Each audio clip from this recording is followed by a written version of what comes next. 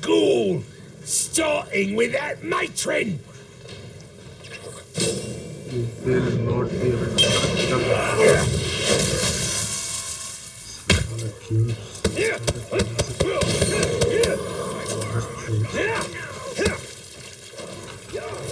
However this goes, I reckon I'm not leaving till I'm the only bugger is still standing.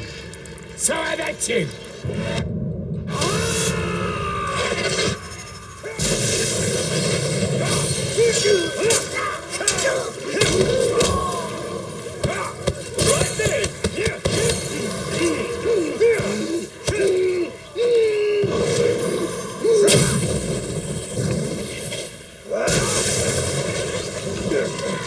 Yeah.